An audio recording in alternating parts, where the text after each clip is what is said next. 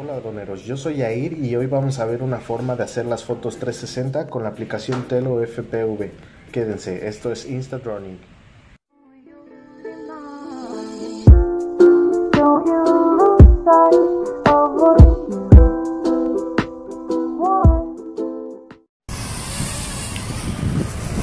Estamos en el kilómetro 5 de la zona hotelera donde vamos a tomar unas fotos en panorámico.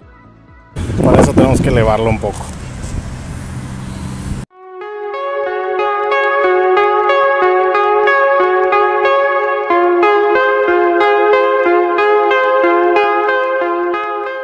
Algo que les puedo recomendar es que chequen dos veces si están despegando en el modo de video, ya que si despegan en el modo Sport, a veces el control que te dan es el modo de video.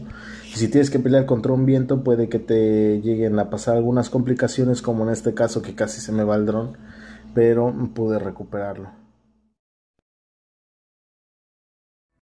Como les había explicado en mi video anterior, para el modo panorámico en 360 puedes decidir cuántas fotos tomar. Eh, puedes elegir hasta 16 fotos a la redonda y entre más tomes es mejor la calidad de la foto final que te saldrá. Para esta ocasión vamos a usar uno de 16, vamos a tomar 16 fotos en el aire y veremos qué tal queda. Ahora que tenemos nuestras 16 fotos podemos entrar a nuestra galería y vamos a notar cómo nos las acomoda automáticamente la aplicación en carpetas para que podamos diferenciarlas. En este caso tenemos de este lado una carpeta con la fecha de la toma de las fotos. Aquí tenemos a las 16, son a 30 metros aproximadamente, 28 punto algo. Y lo que yo también les puedo recomendar para hacer esta clase de fotos es que antes de unirlas en la aplicación final que es Vimo Stitch, eh, la pasen por alguna otra aplicación como puede ser Lightroom. Ya que encontramos las fotos que tomamos, seleccionamos las 16 dentro de la aplicación de Lightroom para importarlas a la aplicación y poder darle una breve edición. Listo, añadir.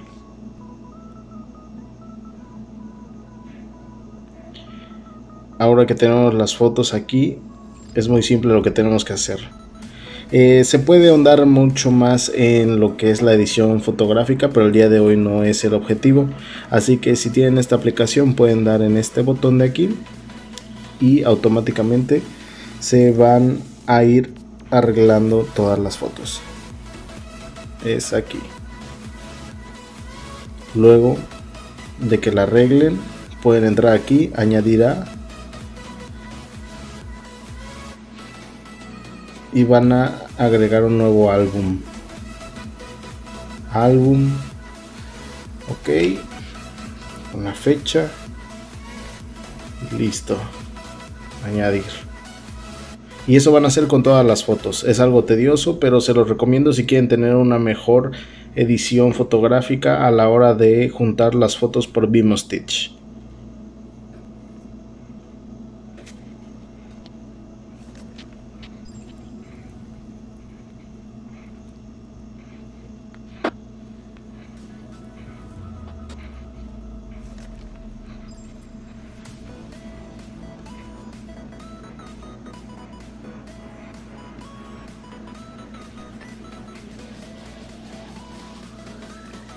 Listo, ya que tenemos las fotos levemente retocadas, vamos a ir a la aplicación de Vimo Stitch a unir todas las fotos en una sola foto panorámica 360.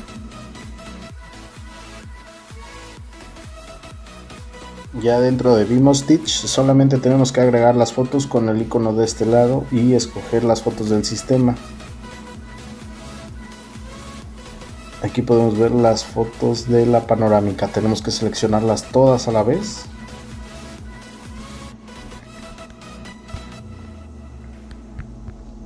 Listo. 16 elementos seleccionados. Abrir. Y empieza a hacer la fusión. Y ya tenemos nuestra panorámica número 5, que es la que acabamos de hacer. En 3D le podemos para ver cómo se vería más o menos en Facebook. Claro que Facebook la acerca un poco y se ve como si estuvieras dentro de la foto. Así que les dejaré el link en la descripción de mi página en Facebook para que ustedes puedan entrar y ver qué tal quedó la foto que editamos en 360 del Telo FPV. Esto fue todo por hoy. Nos vemos.